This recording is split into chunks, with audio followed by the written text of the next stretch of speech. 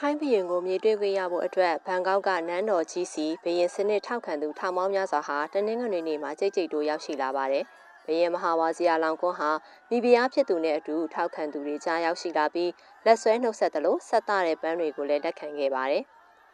ထိုင်းနိုင်ငံမှာအစိုးရလုံးစုံပြောင်းလဲရေးနဲ့ဘရင်စနစ်ပြုပြင်ပြောင်းလဲရေးကိုတောင်းဆိုပြီးဆန္ဒပြပွဲတွေလနဲ့ချီဖြစ်ပွားပေါ်ပေါက်နေချိန်မှာအခုလိုဘရင်ဘတ်တော်သားတွေကဘရင်ကိုထောက်ခံကြောင်းစုယုံလာကြတာဖြစ်ပါတယ်။ဘရင်မဟာဝစီယာလောင်ကွန်းဟာထိုင်းနိုင်ငံမှာအာဏာရဲ့အထွတ်အထိပ်မှာရှိနေတယ်လို့သူ့ဩဇာဟာလည်းပြည်သူလူထုကြားမှာစိတ်ဝင်လွှမ်းမိုးနေတာလည်းဖြစ်ပါတယ်။ ဒါပေမဲ့တစ်ချိန်ကမော်မကြည့်ရဲခဲ့တဲ့တော်ဝင်အတိုင်းဝိုင်းအနေနဲ့ခုချိန်မှာကြီးထွားလာနေတဲ့ဒီမိုကရေစီလှုပ်ရှားမှုတွေကမကြုံဘူးတဲ့စိန်ခေါ်မှုတွေနဲ့ရင်ဆိုင်နေရပါတယ်။ဒီမိုကရေစီလှုပ်ရှားမှုအချို့မှာတချို့သောခေါင်းဆောင်တွေဟာအလွန်ပြင်းထန်တဲ့တော်ဝင်အတိုင်းဝိုင်းကိုအသက်ရည်ဖြတ်မှုဥပဒေဖြတ်သိမ်းရေးအပါအဝင်ဘယင်စနစ်ပြုပြင်ပြောင်းလဲရေးကိုပါတောင်းဆိုလာကြတာဖြစ်ပါတယ်။တနင်္ဂနွေနေ့ကမဟာနန်းတော်စီလာရောက်ပြီးဘယင်ကိုထောက်ခံကြောင်းစုယုံကြတဲ့ပြည်သူထောက်မောင်းများစွာဟာတော်ဝင်အယောင်ဖြစ်တဲ့အဝါရောင်အင်စီတွေကိုဝတ်ဆင်ထားကြသလိုဘယင်မဟာဝါစီယာလောင်ကွန်းနဲ့မိဖုရားစုတီတာတို့ရဲ့ရုပ်ပုံတွေကိုကင်ဆောင်ထားကြပါတယ်။တစ္ဆာရှိရှိအသက်ရှင်မယ်တစ္ဆာမပြတ်ပဲတည်ဆုံးမယ်ဘယင်မင်းမြတ်တတ်တော်ရာကျော်ရှိပါစေဆိုပြီးအော်ဟစ်ကောင်းစီပေးကြပါတယ်။တူတူတိတ်တိတ်နေထိုင်တတ်တဲ့ဘယင်မဟာဝါစီယာလောင်ကွန်းဟာ